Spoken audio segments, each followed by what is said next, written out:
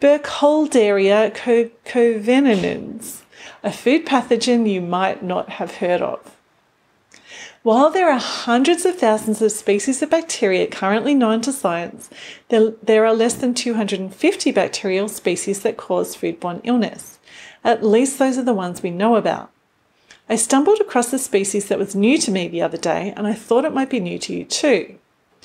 So, let me introduce to you Burkholderia cocovenenans, or more properly, Burkholderia gladioli uh, pathovar cocovenenans and it was formerly known as Pseudomonas cocovenenans.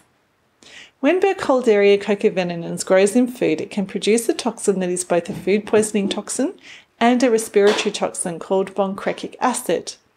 Coconut based and corn based products have been implicated in outbreaks in Indonesia, China, and Mozambique.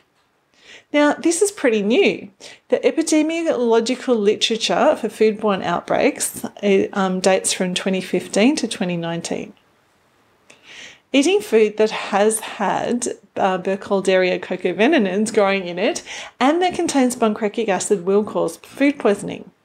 The symptoms are abdominal pain, diarrhea, vomiting, weakness, palpitations, and death. Outbreaks have mortality rates in the region of 50%, that is, half the people who have eaten contaminated foods have died. The bongkrekic acid toxin is odorless, tasteless, and heat stable. Youch!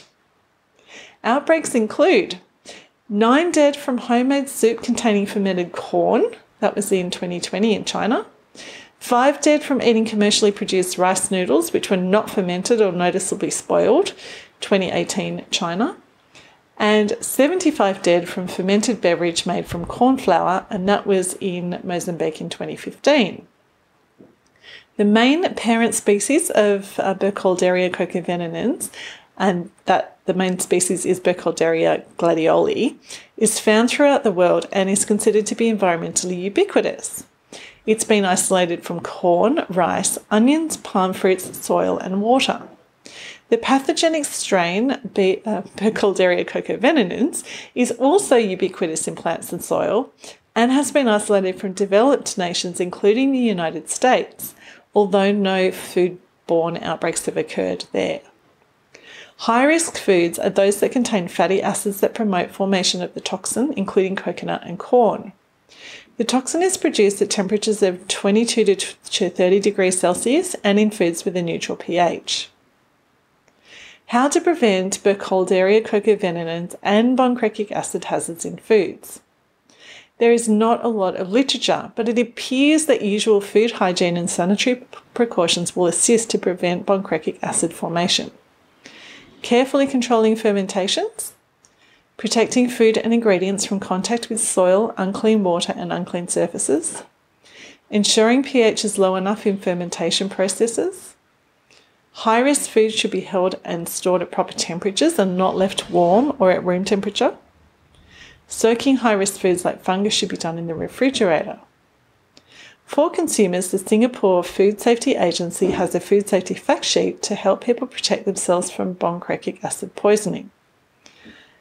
Here are a couple of fun facts. Well, actually, not fun, but interesting anyway. Coconut tempeh bongkrek uh, is a fermented food made from coconut. It's considered so risky that its production and sale is banned in Indonesia. The toxin's ability to inhibit important enzymes in mitochondria that are necessary for cell energy and life makes it a potentially powerful drug. It has antibiotic properties and has been studied for its ability to prevent cell death or ap- apoptosis. And the source, as always, is in the email.